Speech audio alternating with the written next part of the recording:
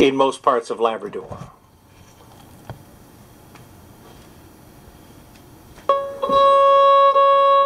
My name is Sydney Chislett.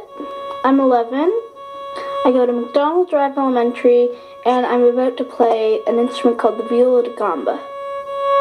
I'm playing a tenor viola. My name is Matthew Druggett. I go to school at Brother Rice Junior High. I am 13 years old. I play the treble viola.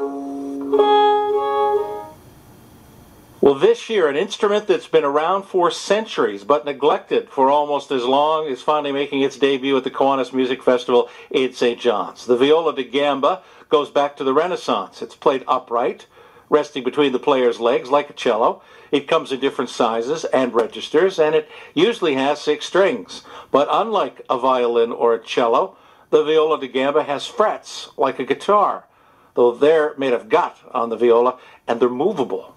You with me so far?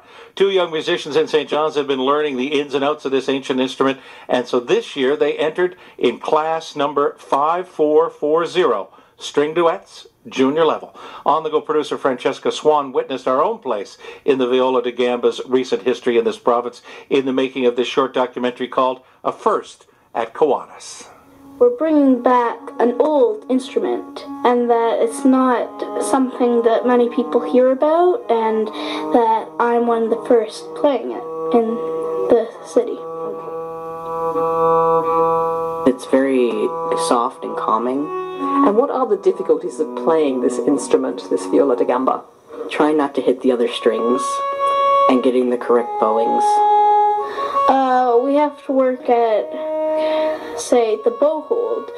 On cello or the violin, you hold it by the stick. On the viola da gamba, you actually have to hold it by the hair. So that, that's definitely a new thing for us. Good, you're staying close to the bridge. Yes. Okay. Um, is that gone out of tune again? Just... Christina Smith is Matthew Druggett and Sydney Chislett's viola da gamba teacher. She's been bringing the sound of the viola da gamba back to the community by encouraging people of all ages to pick up the instrument and explore the exquisite early music repertoire written for it. Now, her students, 13 year old Matthew Druggett and 11 year old Sydney Chislett, are introducing the viola da gamba to a younger age group. Well, it's great. We don't have um, a tradition of it in Newfoundland, and you know, we're, there's uh, actually quite a lot of grown-ups now that I've gotten interested in playing this. But uh, these are the two only two boys so far. So I'm hoping that with every performance that they give, other kids may become interested, more interested, and, and uh, decide that they would like to, to learn the instrument as well. Sydney, have you music? Matthew and Sydney entered Kiwanis on their viola da gambas in the class for string duets junior level. They were one of two entries in this class that was held at St Mark's Church in St John's. The boys had their performance nerves under control, though they were fully aware that bringing the viola da gamba to the festival stage for the first time was a significant moment. Here's Sydney Chislett. I think it's very strange that nobody has come up with a viola da gamba before. It's such a beautiful instrument. And I'm very happy that we're the first ones because that is something no one else has accomplished over the years and it's nice to know that we, we're accomplishing that. And how prepared do you feel as you head into the competition at this point? Very prepared. Well, we've been practicing for some time, so um, yes. Uh, I, we feel prepared. We still have a few minor kinks to work out. I feel that we're going to do well. Entry number two, Matthew Druggett and Sydney Chislett.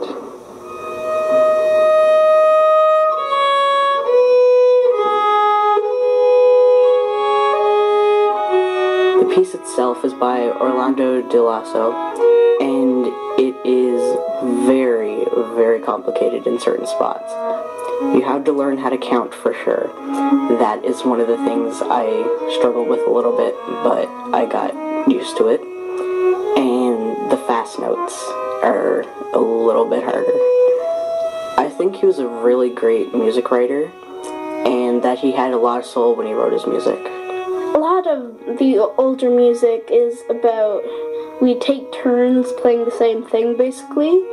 It's harder than playing a solo because you actually need to cooperate with your partner and that and you actually have to listen to the other person and not just to yourself.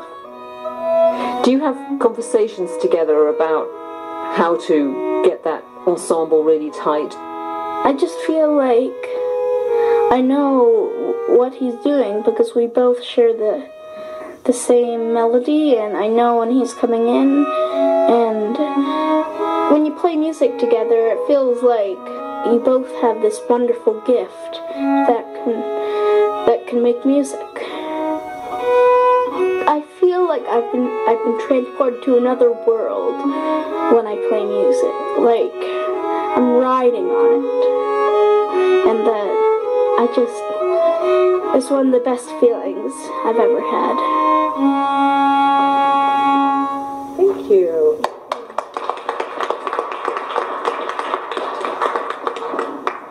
Okay, so how do you both feel now, Matthew? I feel very, very relieved. My thoughts exactly. Were there any moments where you felt, oh my goodness, we're in trouble here, or was it go, or did it go smoothly? I think it went pretty smoothly, except my bow got stuck in my leg. the major problem that I had, I had forgotten to rosin the bow before the performance, so I was rushing around trying to find anybody's spare rosin. Luckily, I did, but. After the performance was over, it was time to hear what the adjudicator had to say. Irene Tamberg is a violinist from the faculty of Western University in Ontario.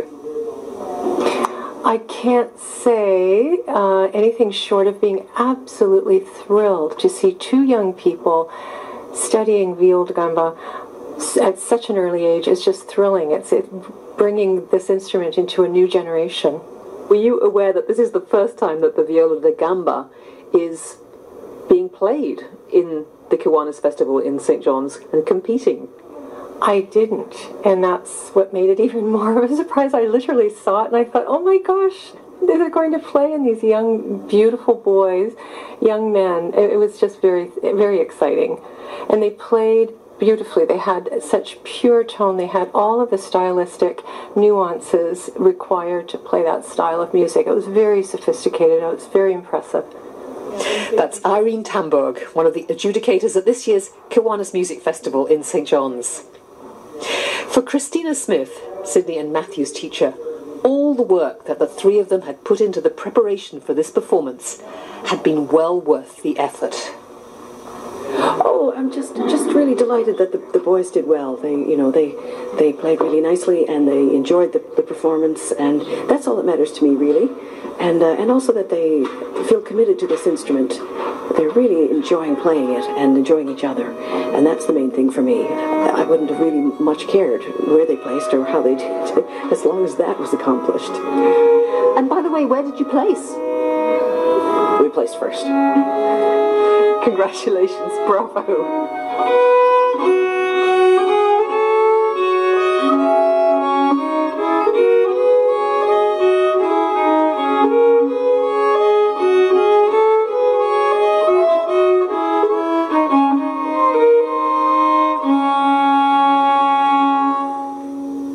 11 year old Sydney Chislett, who's been learning how to play the viola da gamba for just over a year, and 13 year old Matthew Druggett, who's been playing for two years now. Not only did they place first, but they were also the first musicians to play the viola da gamba, as you heard, at the St. John's Kiwanis Music Festival. They scored an 89% for their performance. They were also selected to play in the grand concert at the conclusion of this year's festival.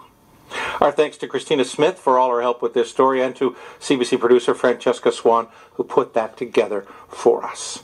It's coming up on 18 minutes after 4 now. That is 12 minutes